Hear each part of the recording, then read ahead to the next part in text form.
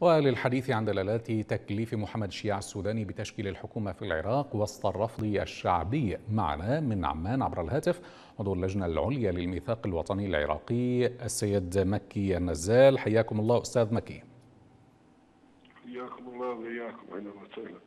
أهلا بك. أستاذ مكي يعني ما أوجه رفضكم لتكليف محمد شياع السوداني بتكليف الحكومة رغم أن الأحزاب السياسية تقول إنها أنهت الفراغ السياسي الحاصل في البلاد. يعني الاختيار وقع طبيعيا وبديهيا ونحن في البيان فقط ننبه لذلك فالحكومات المتعاقبة هي من حزب واحد وحزب الدعوة وحزب الدعوة مرضي عنه من الشرق والغرب. ولا يمكن أن تشكل حكومة أو يأتي رئيس من خارج المحافظات المعروفة. وهكذا اختير شخصان بمنصبين يعني حسب الروتين السائد. أما ما جاءت به باسخات من كشف الحقائق فهو كان يعني دفع لهؤلاء أن يستعجلوا بتسمية مرشحيهم لا أكثر. وربما يعني أيضا ستطول المدة يعني بعد سنة من الانتخابات الفاشلة. وضع خطين تحت الفاشلة بكل المقاييس. اختير رئيس وزراء واختير رئيس جمهورية وسوف يماطلون أيضا لمدة أخرى لتسليم هؤلاء أو تغييرهم. لا ندري. وشطب جهات كانت مسيطرة على الشارع نهائيا من من قائمة المرشحين. المهم أن هذا هو نظام الاحتلال يعني الذي جاء من 2003 إلى اليوم. في البداية ما يشبه الحكومات مؤقتة ثم استلم حزب الدعوة السلطة من 2005 إلى الآن. ولا تغيير في المشهد أبدا. هل من باب المصادفة أن يأتي اختيار عبد اللطيف رشيد لتولي منصب رئاسة الجمهورية في وقت احتفت فيه الأحزاب بالعملية وعدتها ديمقراطية؟ يعني برأيكم هل هي كذلك هذه العملية؟ هل هي ديمقراطية ولو بالحد الأدنى؟ يعني هي أبعد ما تكون عن ديمقراطية صار واضحا يعني إذا كان غامضا قبل تظاهرات تشرين فأصبح الآن كل شيء واضحا وجليا وهذه من حسنات انتفاضة تشرين إنها كشفت أي مستور ممكن أن يكون مستورا لبعض الناس يعني. أما بالنسبة لنا فهي ليست مصادفة هو نظام وراثي بالنسبة لرئاسة الجمهورية. يعني هذا ابن ذاك وهذا عديل ذاك وإلى آخره. يعني شيء لا يقبل النقاش. حتى في الداخل الكردي هناك خلاف حول هذا الأمر.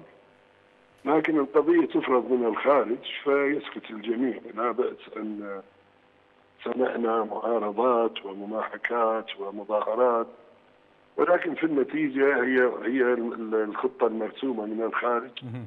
تنفذ اليوم بحذافيرها. نعم يعني في هذا الإطار تأتي هذه الأوامر من الخارج لماذا لا تتعامل الأمم المتحدة بصرامة مع أحزاب العملية السياسية وتصر على تبنيها رغم رفض الشارع العراقي لها؟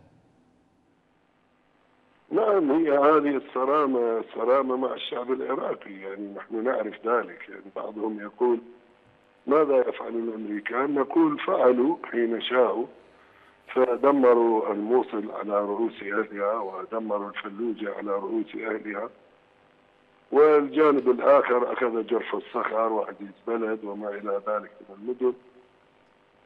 وكانت الصرامة واضحة النظام العالمي نعم يتعامل بصرامة مطلقة ومفرطة مع الشعب العراقي. وهو غير معني بمطالبات الشعب العراقي. هم يعينون موظفيهم.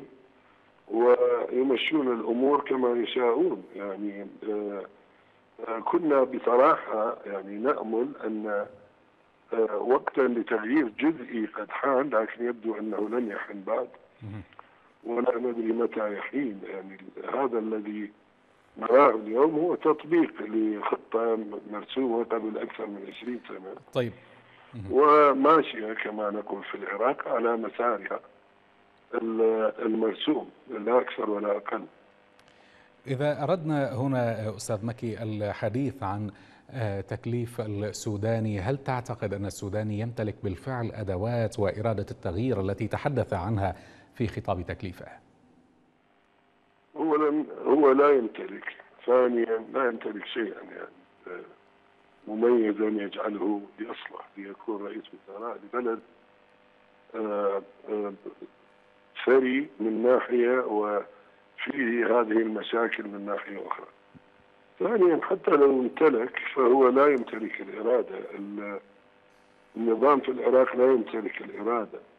حتى لو جئته بشخصية من المريخ آه، فهو سينصاع للتعليمات الخارجية والإملاءات وسينصاع للفساد والمفسدين وسيقسم الحصص يعني كل دور رئيس الوزراء في كل الحكومات هو تقسيم الحصص وقمع الشعب وإطالة أمد الاحتلال آه، بهذه الصورة البشعة.